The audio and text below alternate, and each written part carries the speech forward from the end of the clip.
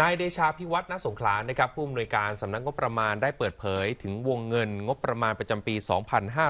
2563 ว่าผลสรุปของ 4 หน่วยงานที่ประชุมร่วมกันประกอบด้วยกระทรวงการคลังสำนักงบประมาณสำนักงานสภาพัฒนาการเศรษฐกิจ และสังคมแห่งชาติ และธนาคารแห่งประเทศไทย ได้พิจารณากรอบวงเงินงบประมาณอยู่ที่ 3 ล้าน2แสนล้านบาทนะครับโดยได้เพิ่มงบประมาณขาดดุลอีก 19,000 ล้านบาท จากเดิมที่กำหนดไว้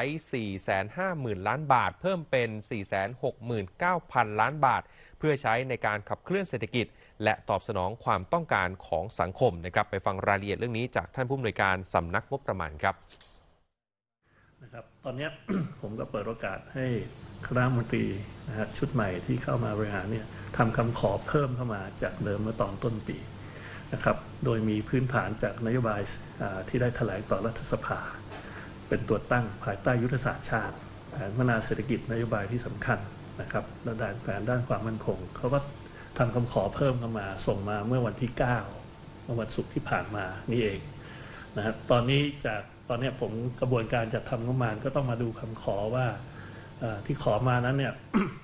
จะสามารถตอบสนองทางด้านเศรษฐกิจสังคมและมั่นคงอย่างไร แล้ววงเงินที่เหมาะสมเนี่ยภายใน 3.2 ล้านล้านเนี่ยจะสามารถ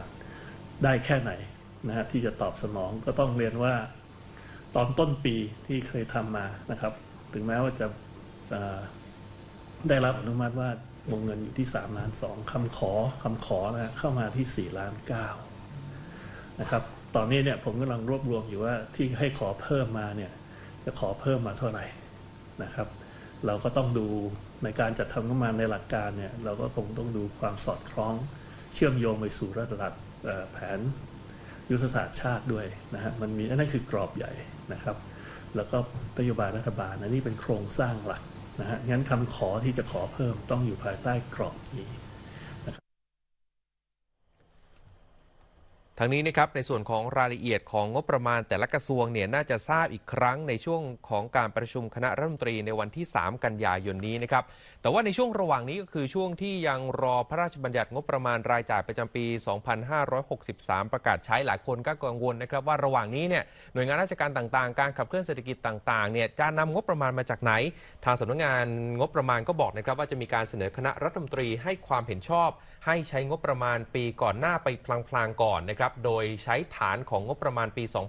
2562 เนี่ยนำมาจัดสรรให้ แต่ว่าจะจัดสรรไม่เกินกึ่งหนึ่ง ประกอบด้วยเรื่องของเงินเดือนรายจ่ายประจำปีที่มีฐานเดิมอยู่ในปี 2562 และงบลงทุนที่มีสัญญาแล้ว ซึ่งจะไม่มีรายการใหม่เพิ่มเติมนะครับ